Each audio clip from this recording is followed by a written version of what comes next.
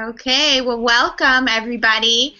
I'm Dawn Hawkins with Morality and Media and PornHarms.com, and we are celebrating the 27th annual White Ribbon Against Pornography Week. It starts always the uh, first, sorry, the last Sunday of October. And our first event this week is with Anna Malika, um, a sex trafficking survivor who now speaks out on, a, on many different issues and um, to tell to tell her story and help people um, not fall into this trap and just understand what what's really going on. And so we're really happy to have Anna with us.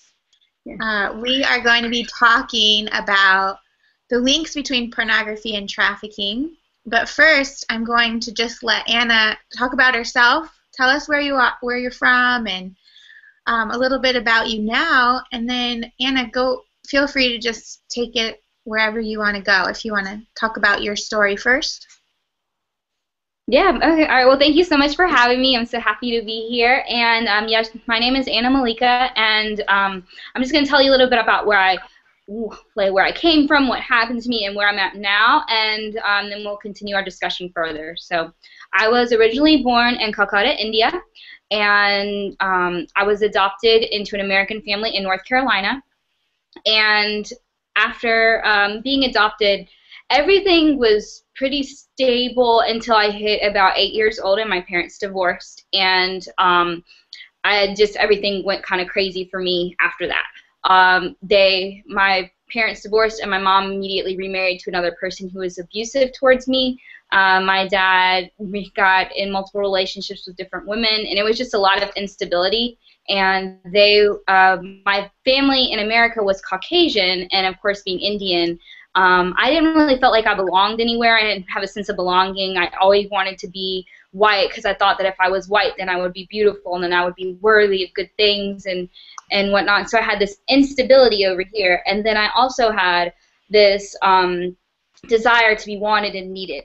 And um, as my parents continued to marry and be remarried into middle school, I developed an eating disorder, and I started really like being told by various people in my life that if I had any type of curves, I was ugly and I would just cry if I had any type of little curve when I ate, like in my clothes or anything like that. Um, I just hated myself so much. So then my parents continued to um, remarry. My um, my dad remarried a woman who had a substance abuse substance abuse issue, and then I got into high school by this point, you know, in high school, it's all about what are you wearing, what you got, all these materialistic things. And I wasn't white. I wanted to be white like all of my friends. I thought that would make me pretty. I thought if I was skinny, that would make me be pretty. I had no attention from my parents, so I felt so I didn't feel like I belonged anywhere. Well, then in high school, I was in my junior year and I got a job at a movie theater part time.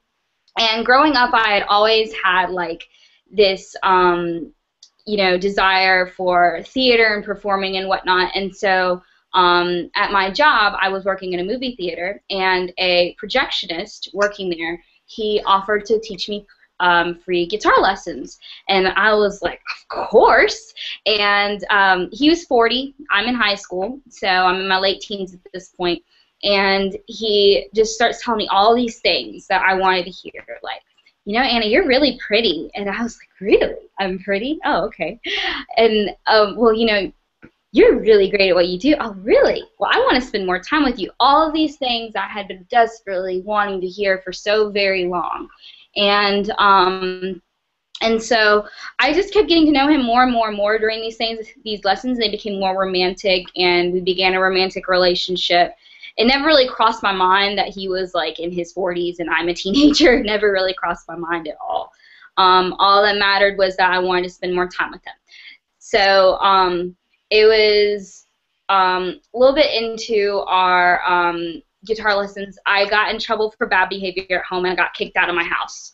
Um, in high school, and I had nowhere to go. And he's like, "Well, we're already dating," and I was like, "Okay, you know, yeah." He's like, "Why don't you move in with me?" And I was like, okay, that makes sense. You know, we're dating, we love each other, I'm important to him, and all that. So that's what matters. So I moved in with him. I'm still in high school, And at this point, this is in like 2004-ish, 2005-ish year. Um, so it's um, you know, it was really easy to get isolated. He kept trying to get me to like hang out only with him. I stopped hanging out with my friends and um, everything. It just became my life became solely him. So when I moved in a few months into it, he asked me to be a part of his art project, and I um, he was like, you, you know, you could be my number one model. And I was like, oh, your number one model. Okay. He's like, yeah, my number one, my number one star. So I began this art project as very innocent first, and then it became more sexual as time went on. I was forced to do unthinkable things. I was forced to do things that are um, um, very violent. And um, he kept a catalog of these on the calendar, and I remember I was in the kitchen and I was looking at the calendar, and um, and I was like, "What is that?" He's like, "Oh, it's just how many times we made love." And I'm like, "Okay, yeah, all right, I'll buy it." And you know, he wouldn't lie to me.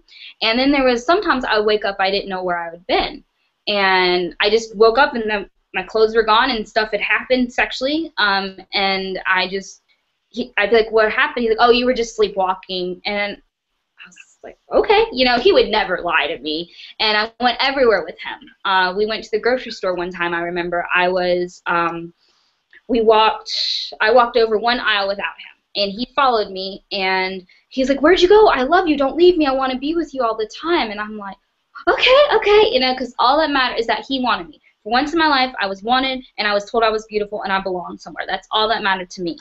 And um, at this point, like, I see everybody's like, well, where, you know, like Anna, this is weird, but it seems normal. So nothing outside looked abnormal. Everybody just was kind of like, she seems happy. Okay, let's just go with it. Um, this them being my friends, my teachers, my family. Um, I just seemed so happy. So it seemed weird, but I seemed happy. Um, and I uh, let's see what else happened during this time. Um, uh, I was um, sorry, I just lost my train of train of thought during that point. But um, but yeah, he did monitor my money. Uh, I did not have any control of my finances. Every time um, he would just he would just keep the money when um, everything that I had. And um, one day he started talking about marriage very very seriously. We did not get engaged, so let me just put that out there. We did not get engaged, but he talked about very very seriously. And so um, as um, sorry, um, he talked about very seriously and um, sorry, I'm blanking really quickly here. Um, oh, and so I didn't want to get married. That was like the one thing on my my mind was I did not want to marry him, but I did want to break his heart because you know we loved each other and everything. And so when um we um Sorry, I blanked for a second. Um, That's okay. Yeah. So I've met another girl at my job who I knew, and she needed a roommate. And during that time, um, when we were, I was talking to her. I was like, you know, I just need a roommate, and she's like, okay. So um, during the day while I was at school, I started moving stuff, moving my stuff in with her behind the scenes, and it was like he'd come home, he'd be like, "Where's your hoodie?" I'm like, "Oh, you know, I just left it at school or whatever." And so he's like, "All right," you know. And so one day, um, I got fired from the movie theater, and I um, moved. Um, I just moved out of the house. I moved in with her, and it was cold turkey. I didn't really talk to him again. Um, he tried to find out where I was, and uh, but like I said, this is back in 2004, 2005 time. So there was no really um, Twitter, Facebook, or anything like that for him to find me. So everybody's kind of like, why is this guy trying to find her? This is weird. And so um, uh, I never really talked to him again after that. But she, um, so at this point, I had thought that I was just in a um, you know, I had broken up with a relationship or whatever. I, um, um, you know, I didn't know anything about the pictures. But so after that, I just kind of like fell into this spiral of just like drinking and partying and things like that, just oh, long term. And then um, I got a call in 2009 that he had died and um, of colon cancer. and so by that point, um, I remember I was just like, well, I need to get these pictures back. So uh, the, I didn't really know how to do that, so I went to the funeral and I saw a family member of his, and so we went and we got into. Um, um, I met up with her, and she gave me this big box, and I was like, "What in the world? This big like what did I leave there? And so I get home and I open it and he had mass produced everything. Every single of these pictures had been mass produced. I had no idea. I had no idea I was in a business. I had no idea that he was selling these. I had no idea that he had been um, you know, that he was mass producing anything. I thought they were our personal art project. I thought I was his you know, his special model. And then I talked to some other girls, and it turned out that he had approached them. He was never able to go full do what he did to me, but he had also approached them as well. So not, he had been hiding all this from me. I had absolutely no idea. So after this was over, I still didn't know what it was. Um, I just thought I just couldn't understand the whole idea of what he had done. So then a few years later, I started hearing about human trafficking, and I was like, human trafficking, like you know, oh, that's just overseas and everything. I was like, it's not here. It doesn't happen to girls in the U.S. and it's just prostitution. It's just, you know, you see a girl on, walking up and down the street and she has a pimp and all this. And then I started like reading more and more about it. And I remember I saw, an, or I read an article and it was a girl and her, um, her story read this: girl meets older guy and girl starts dating older guy. He starts telling her all these things like he loves her, he wants to be with her all the time, and then he asks her to do art project.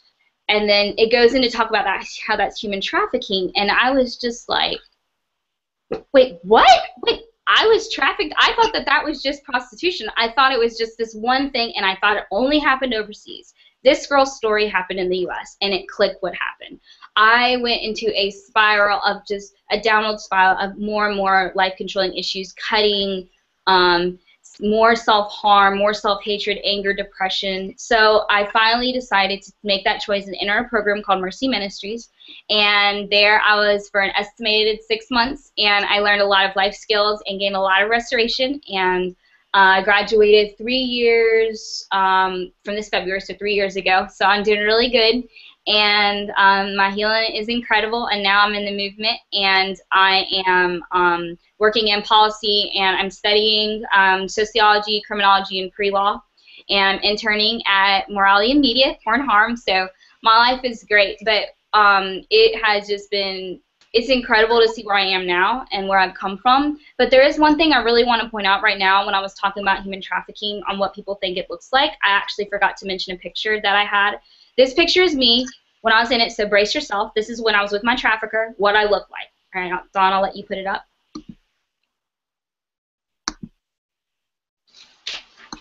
That is me. That is that scary, terrifying story you think of when you think of human trafficking. That girl you think on the side of the streets, if you're noticing, it doesn't always look that way. The girl could be right there in front of you. This is me in my chemistry class with one of my classmates in high school, and we're sitting there um, in my goggles and my apron, just like your daughter's um, um, friend who is in her biology class or her chemistry class. Like you're not on the side of the road. You can easily be this girl here in high school, just going to class with your other friends. So that was the picture I wanted to share. I'm not sure if it shared. I had it up, but I didn't hit present to everyone. So it's up right now. This is yeah. Anna in high school at the time that she was being trafficked. This is what she looked like, just any young girl. It was, you know, this can happen to anyone. That's what that's what we need to realize. Yeah, it can be anyone, and it can be anybody in any realm of your life. Like I said, consider your daughter's friend who's in her chemistry class, who's sitting next to her. That's who I was to this girl standing next to me. That that's who I was to her. And now she actually, her and I talk, and um, she's so proud of me. But she's just like, Anna, I can't believe during that time when I thought this guy was your boyfriend, this is really what was going on. So just something to consider. I don't know where to where to go with the discussion exactly. Um, you said so many things that touch on on on what we would we often argue are some of the links between pornography and sex trafficking. But um, but maybe to to start, I just want to highlight that in the middle of this, you didn't even realize what was happening to you. Mm-mm. And that is the story that I hear most often from survivors is, is that they didn't even realize while this was happening the the grave nature, the the scary situation that they were in because you're you know these girls are groomed to trust the traffickers and the pimps and, and to believe what they're saying and what they're promising and so I think I think that's something we need to realize is that a lot of these young girls they don't even realize when they're in this situation. No, they don't. Not at all. Like I had absolutely no idea. I had absolutely no idea. Not even until after I found out what human trafficking was. That's why it's important to talk about it. That's why it's important to understand what it looks like and not that it has, you know, when people hear human trafficking, they think specifically prostitution. And that is a very, very heinous crime, and it is a very important issue right now, and definitely just in general to address. But it's not the only part of human trafficking, it's not the only element of it. Pornography is a huge issue as well, and pornography is becoming more and more um, common as we expand on our media and um, just the internet itself. Um, but it is a very very um, um, key type but i i guess also like it just i really didn't understand what i was under. I had absolutely no idea. I had no um, uh, positive parental role models or just adult role models in general. I didn't really have that. I didn't know what to look for in relationships. I didn't know what to um, see in another a, a romantic relationship as healthy. I didn't think it was weird to date a 40 year old man. Right for those of you who are watching, I made a mistake when we set this up. Uh, you were supposed to be able to submit questions, and I guess I didn't tick a box. And it won't let me now. So if you have questions, you can write them on the event page below as a comment, um, and I'll keep refreshing and bring it up, and I'll be able to read them off to Anna and, and ask her. So feel free to make a comment or to write a question below on the event page. But um, moving on.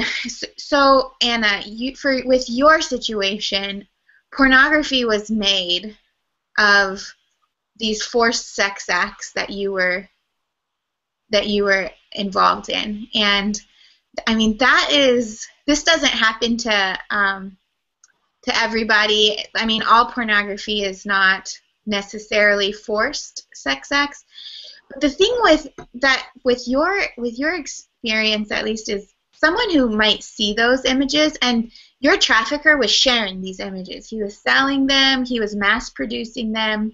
They were out there far and wide. People who were looking at your images they wouldn't necessarily know that you you weren't consenting right? I mean that this is a scary thing. People who are regularly viewing pornography or anyone viewing pornography, you can't distinguish whether or not something is a forced act, a trafficked act, or or consenting. You, you didn't look like you were, you know, being beaten necessarily in all of them. You, although you did say that some of it became very violent. Yeah, it did. There were certain areas that were really violent, but um, I think the biggest thing was that um, the way that he would try to dress me up and put me in certain types of costumes, I guess you'd call them or whatever, like I looked very young in all of them. I'm sure, no matter how old he. And I think that's something to keep in mind too. Is like when you're looking at these these girls in these um, in the pornography and whatnot. It's like they some of them they look so young, but they try so hard to make them look older. And um, that was something else that he tried to do as well as not only the violence but like trying to make me look older. And uh, when i look at him now i'm like i know i look and anna how old were you? Um it that's the thing is i don't know the age of when it started but i know i was no older than the age of 19 right. So so it's likely that these images were taken when you were a child still when before you were oh yeah. Yeah. Mm-hmm. i definitely i met him when i was a minor for sure.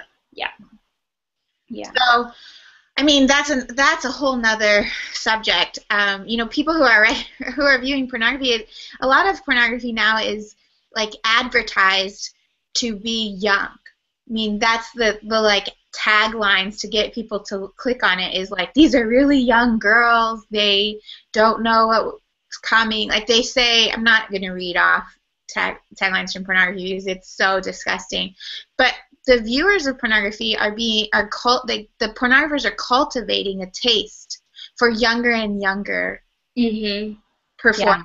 Yeah. And and many of those watching, that's what they're demanding is younger and younger. And with you know your your trafficker was was helping to provide what the demand is asking for.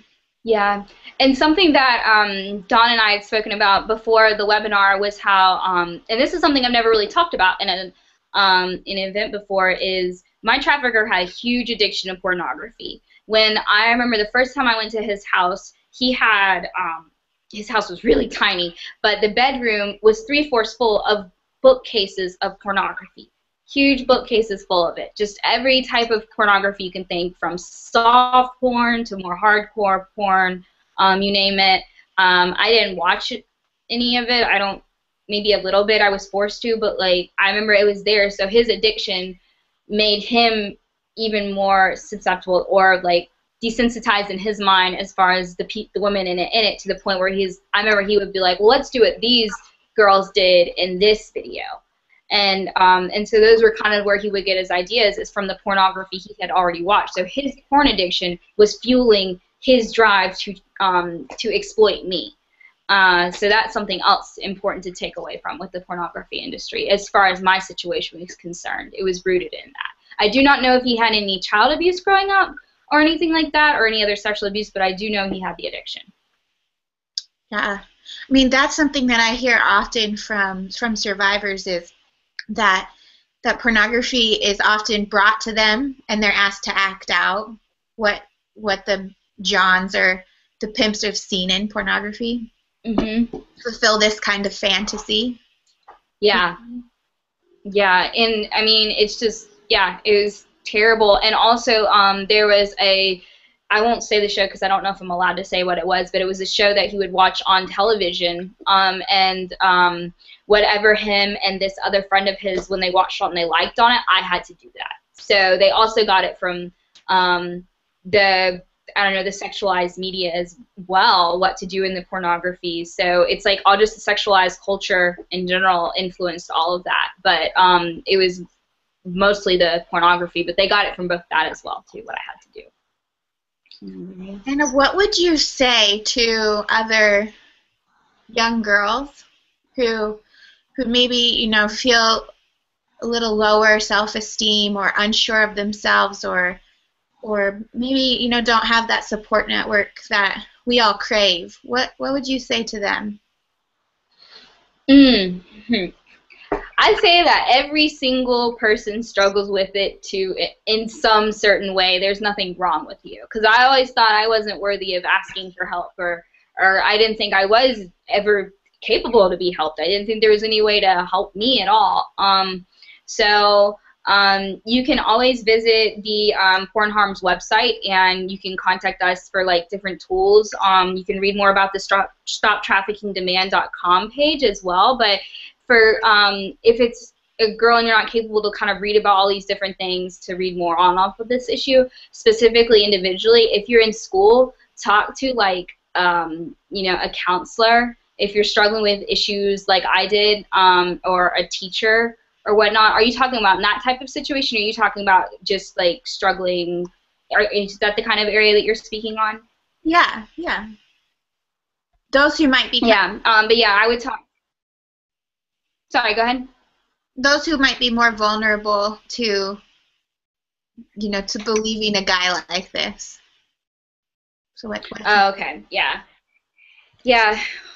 I would definitely um, learn what a healthy relationship looks like. Um, I think we all, all women love to have that man after us. They love, we love to be pursued. Um, I know I do. I have a wonderful boyfriend. Finally, I have a keeper. He's in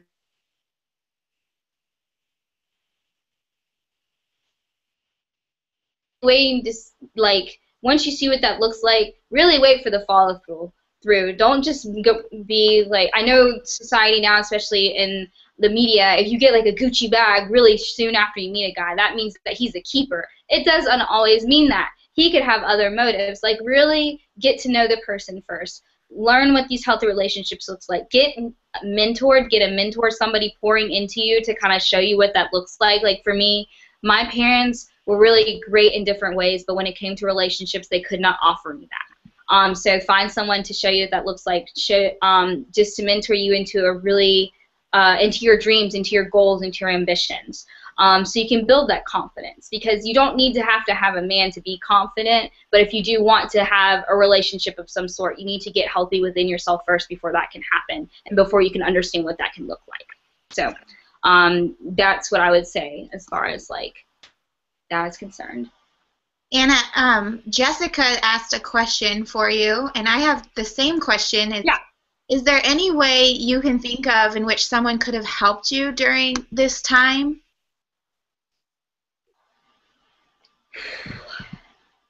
Yeah, that I get that question a lot.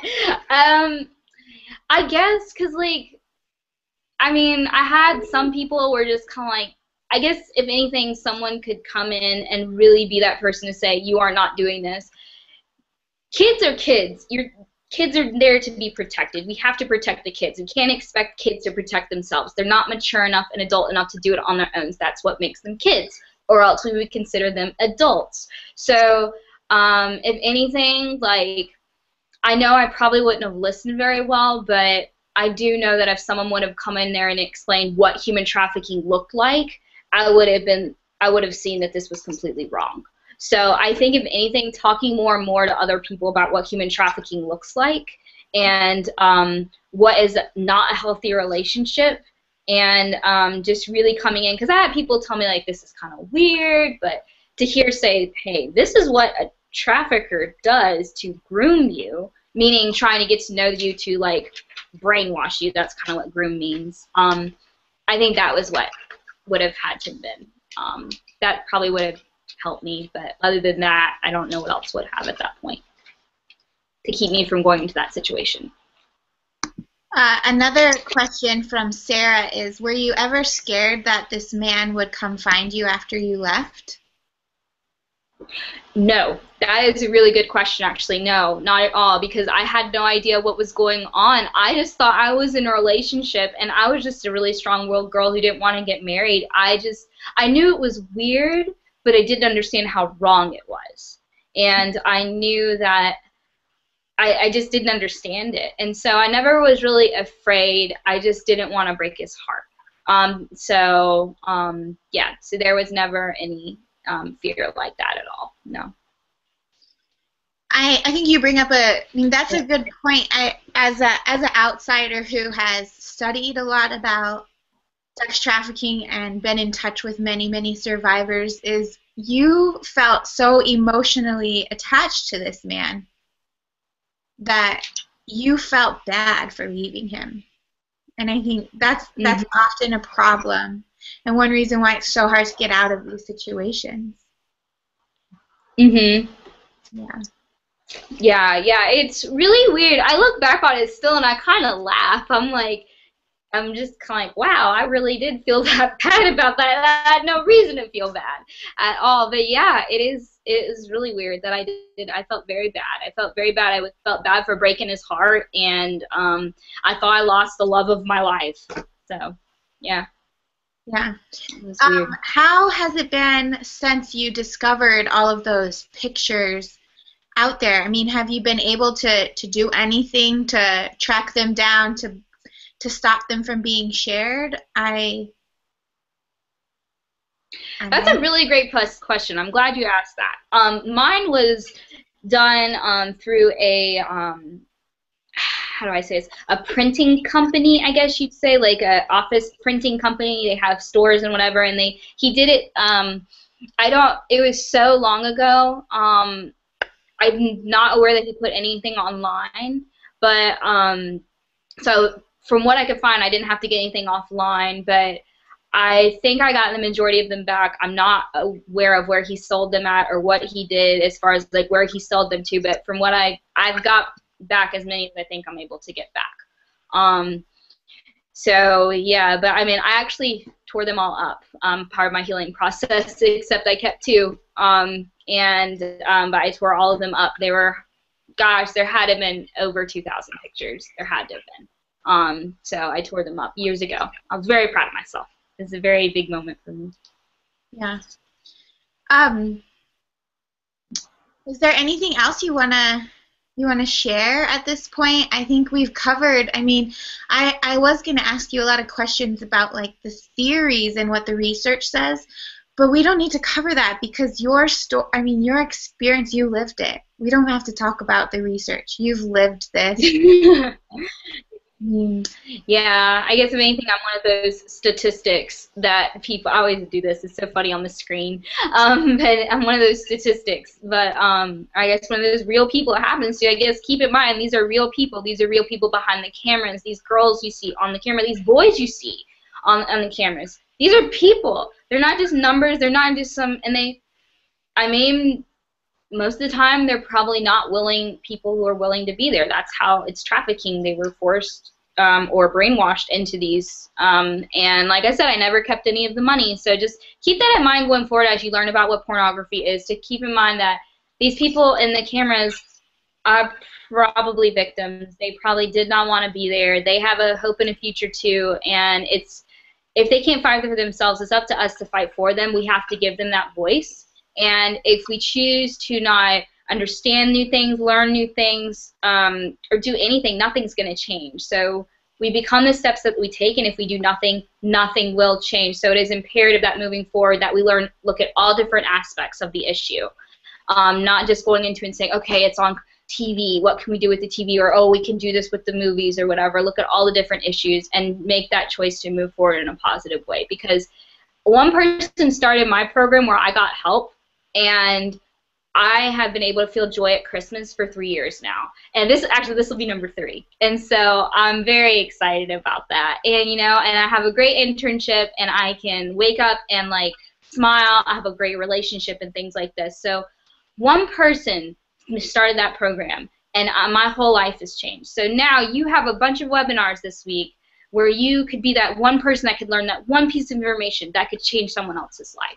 So um, you don't have to do something huge at all. It just comes down to making a choice to move forward. That's my main thing. Thank you, Anna. I just want to tell people that they can find you. She Anna has a public Facebook page. It's just Anna Malika, M A L I K A, and it's on Facebook and she's on Twitter.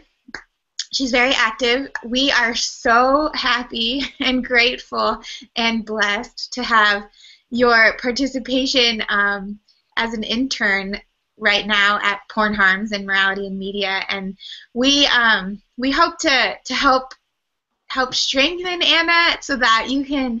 You're already such a great um, speaker and spokesperson for this movement, and I am excited to see what happens in the future. And um, I'm grateful I get to work with you, next to you, and learn from you. Yeah, it is fun.